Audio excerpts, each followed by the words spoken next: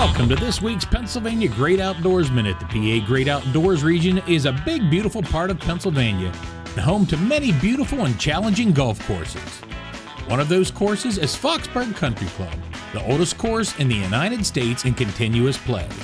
In 1884, Joseph Mickle Fox journeyed to England to play cricket and was introduced to the game of golf.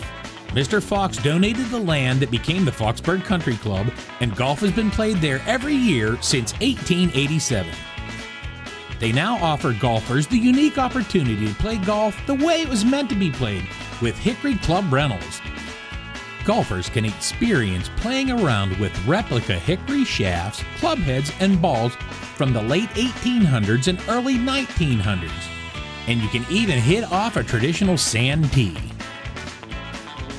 It's a fun and new way to play on a course steeped in golf history. To plan your golf outing in the Pennsylvania Great Outdoors, go to visitpago.com or like the PA Great Outdoors on Facebook.